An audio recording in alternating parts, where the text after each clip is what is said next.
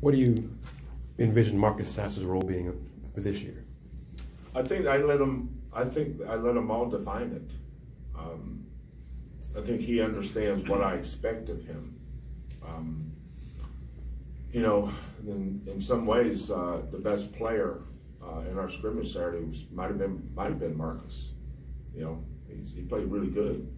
Uh, but Marcus, Marcus, and, and, this is why people that, that try to judge recruiting classes by where kids are rated just don't understand.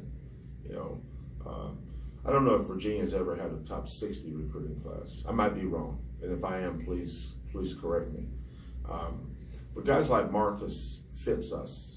You know, when we recruited Marcus, I have no idea who was recruiting. I didn't ask. I, I liked him. I liked him for us. Um, you know, and I watch him out here uh, in practice. Uh, he knows how to play. Uh, he's tough. Uh, he's he loves to be coached.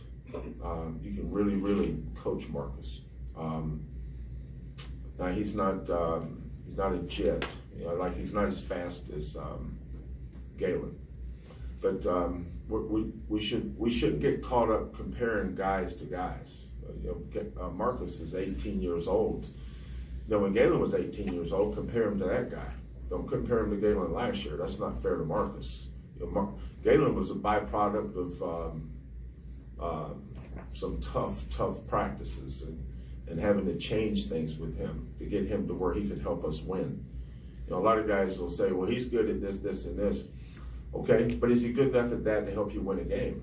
Or does he need to uh, adjust his game a little bit different? And I think that's one of the reasons why we've been able to win around here. We've been able to evaluate kids' games and get them to adjust to how we play.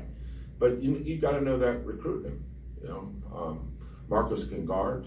Um, not a great creator. Uh, can make a three.